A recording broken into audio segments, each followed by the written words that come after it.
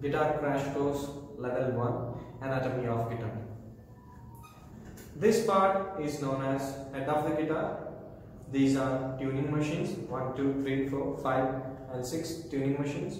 And this is nut where strings lay on its place. And this is fretboard, the whole thing here is fretboard. And these are fret numbers. Fret 1, fret 2, fret 3, fret 4, 5, 6, 7, 8, 9, 10, 11, 12 and so on. And this is called the bridge of the guitar, bridge pins and this is saddle.